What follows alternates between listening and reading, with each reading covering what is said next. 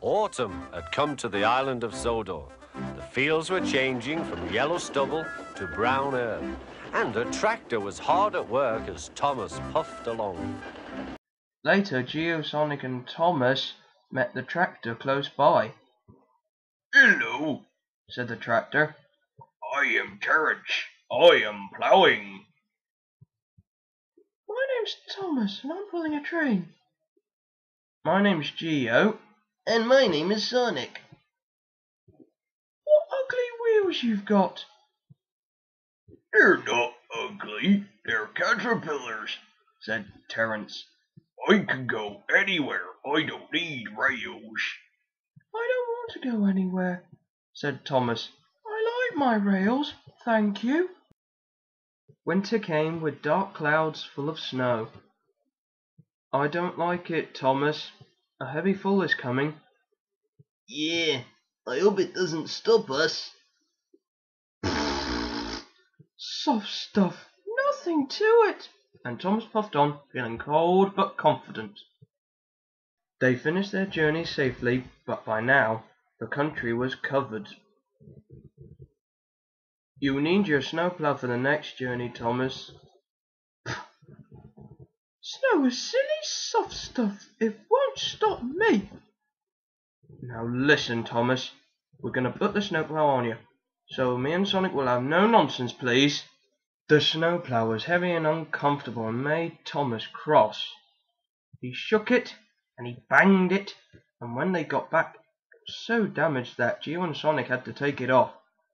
You are a very naughty engine, they said to Thomas. The next morning, Geo and Sonic came early and worked hard to mend the snowplow, but they couldn't make it fit. Thomas was pleased. I shan't have to wear it. I shan't have to wear it, he puffed to Annie and Clarabel. But they were rather worried. I hope it's all right. I hope it's all right, they whispered to each other. Geo and Sonic were worried too. It's not bad here, but I think it's sure to be deeper in the valley. Silly soft stuff, puffed Thomas. I didn't need that stupid old thing yesterday, and I shan't today. Snow can't stop me.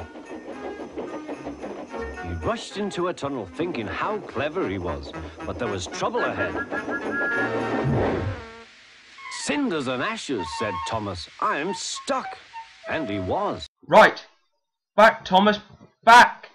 Thomas tried, but his wheels spun and he couldn't move. The conductor went back for help, while everyone else tried to dig the snow away. But as fast as they dug, more snow slipped down until Thomas was nearly buried. Oh, my wheels are coupling rods. I shall have to stop here till I'm frozen. What a silly engine I am. And Thomas began to cry.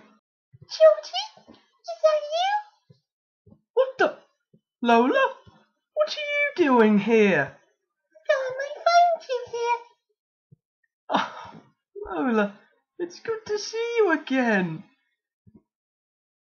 I hate to break up the romantic feeling, but should you guys get me out of here? At last a bus came to rescue the passengers.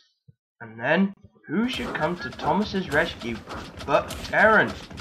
Snow never worries him.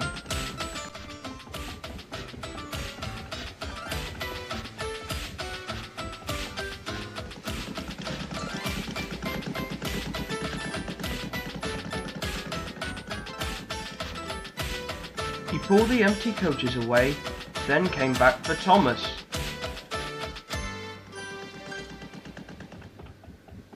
Thomas's wheels were clear, but still spun when he tried to move. Terence tugged and slipped and slipped and tugged, and at last dragged Thomas clear of the snow, ready for a journey home.